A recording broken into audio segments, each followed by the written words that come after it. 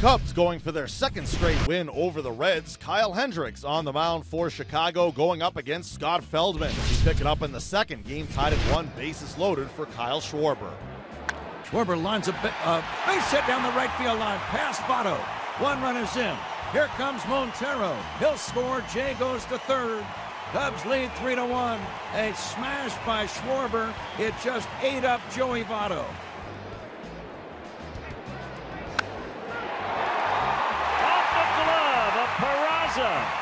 Jay scores. So does Schwarber. Five to one.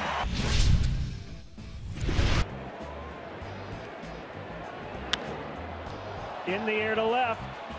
Up into the wind. And gone. Zach Cozart has homered again. Five straight games here at Wrigley Field. Five to two now.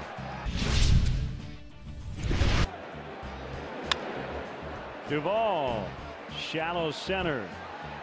Trouble caught the slide and the grab by Ian Happ. What good work by Happ as he takes one peek to see if there are other options. Says, nope, I got to be the guy. The Cubs win their second straight over the Reds, taking it 7 5. Kyle Hendricks the win, allowing two runs in six innings. Zach Cozart becomes the third player in the history of Wrigley Field to go deep in five straight games as a visiting player.